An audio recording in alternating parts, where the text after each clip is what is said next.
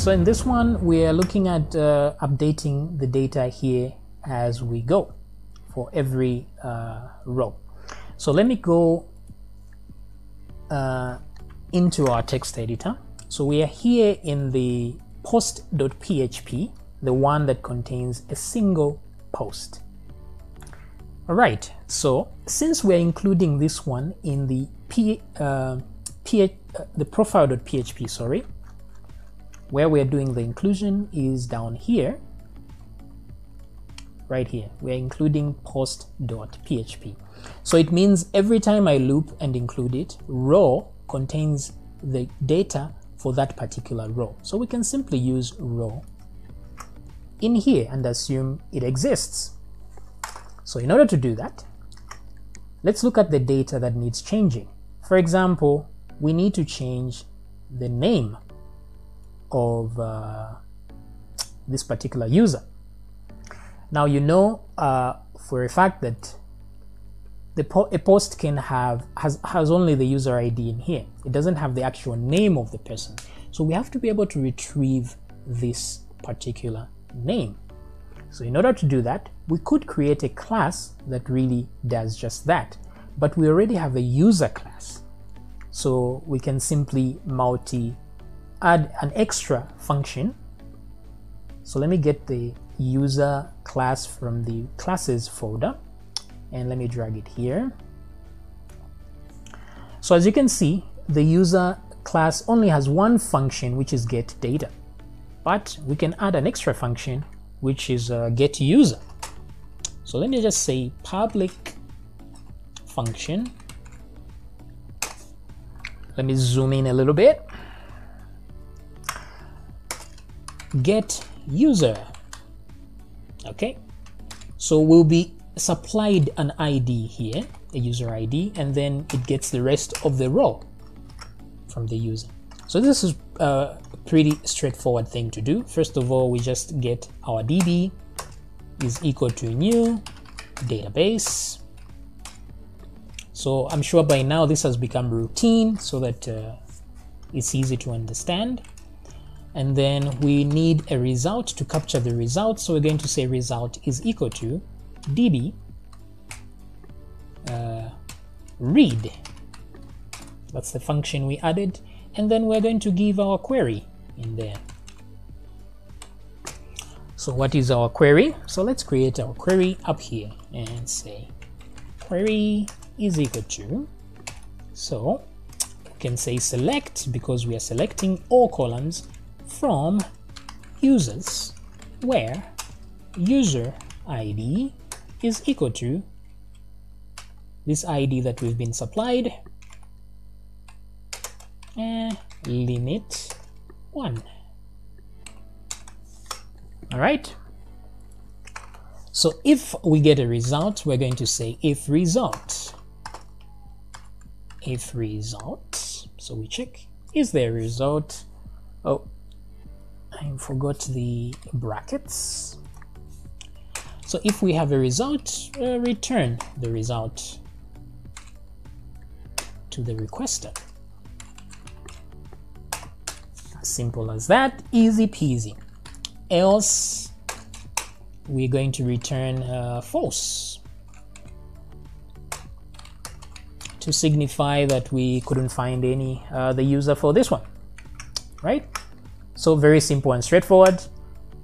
Create a query, uh, instantiate the database class, get a result from the query.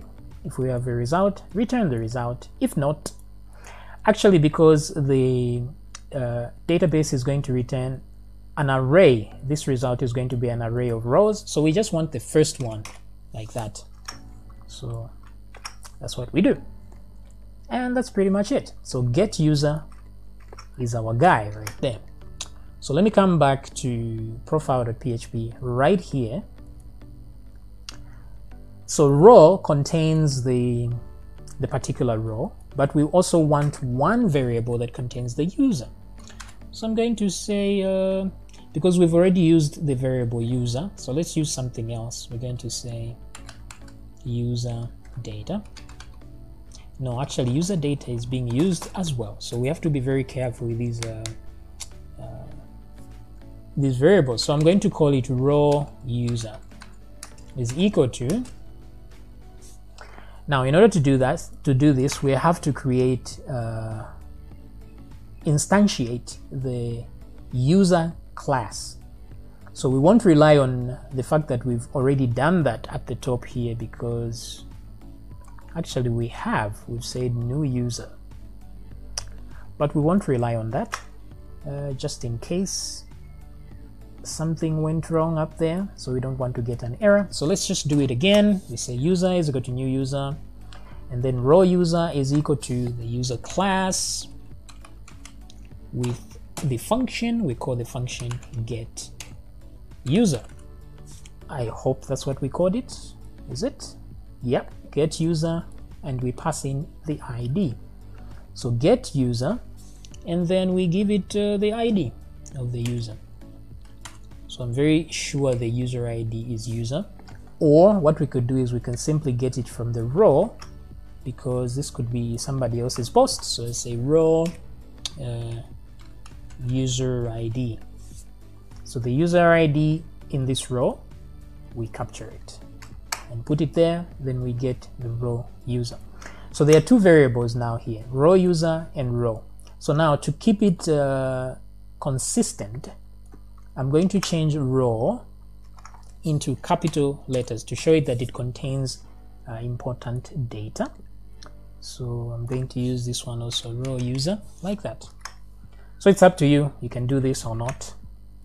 Uh, just shows that this is important data and also because these are capital letters just in case I have used this before I won't have any collisions before this point I want to overwrite any new variables so now this post.php at this point will be privy to this information. It will have raw and raw user, which we can use. So let me go to post.php, this one, the one that contains the HTML.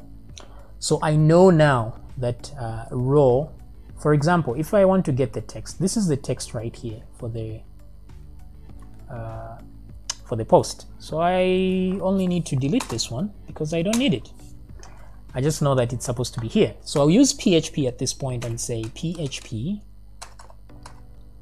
Oh, what have I done? I'm going to say question mark PHP and echo.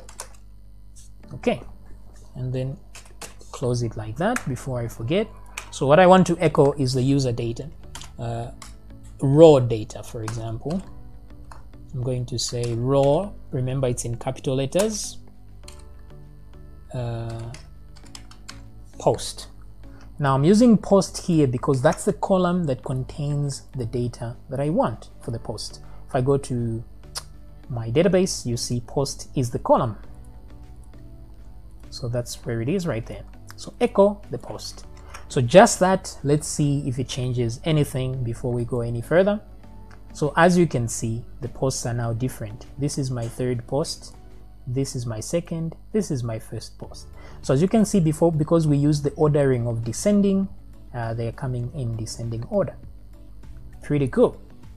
Now what else do we need to change? We need to change the name. So we already have the name from the raw uh, user which is this one raw user so let me copy that come back in here post there there we go so the username is right here, first guy. So we replace that with the PHP script. So we add our tags and we say echo.